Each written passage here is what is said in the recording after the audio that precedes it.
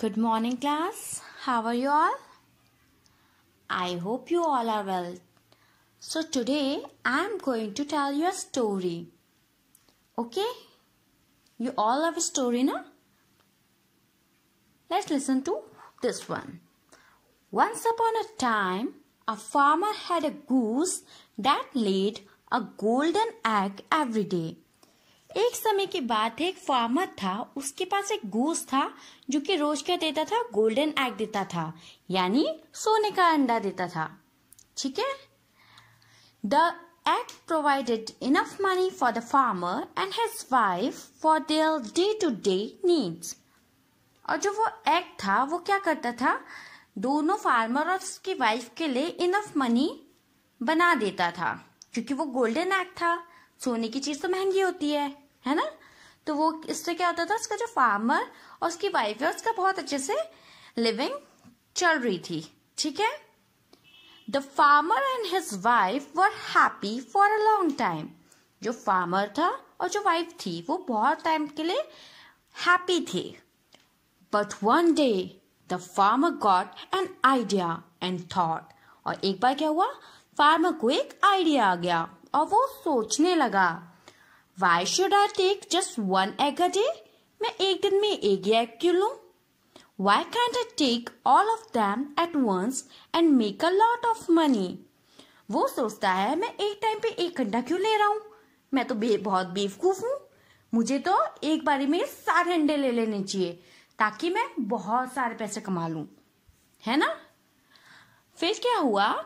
The foolish farmer's wife also agreed जो foolish farmer होता है, बेवकूफ़ सा फार्मर होता है, उसकी जो वाइफ होती है, वो भी उसके साथ एग्री कर जाती है। वो कहती है हाँ हाँ ठीक है ठीक है let's do it and decided to cut the goose stomach for the eggs और वो डिसाइड करते हैं कि हम ये जो गूज है, उसके स्टमक को काट के सारे एग्स निकाल लेंगे।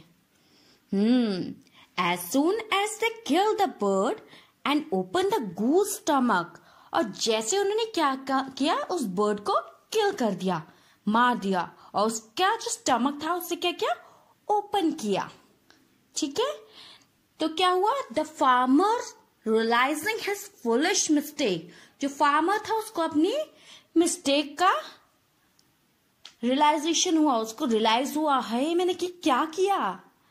Cries over the loss resource और वो अपने खोए हुए पैसे के लिए बहुत दुखी हो जाता है, क्योंकि जब वो उसका स्टमक खोलता है तो उसमें तो कुछ भी नहीं निकलता। So what do you think what is the moral of story very good some of you are correct the moral of the story is we should not be greedy हमें ग्रीडी नहीं होना चाहिए, लालची नहीं होना चाहिए। And the second moral is think before you act कुछ भी करने से पहले एक बार सोचना चाहिए हमें, ठीक है? तो अगर आप अपनी लाइफ में कोई भी डिसीज़न लेंगे तो सबसे पहले आप उसको एक बार ज़रूर सोचेंगे is it good for me और नॉट इज़ इट राइट और नॉट आप पहले सोचेंगे, फिर उसके बाद ही कोई भी एक्ट करेंगे, कोई भी स्टेप उठाएँगे, ठीक है?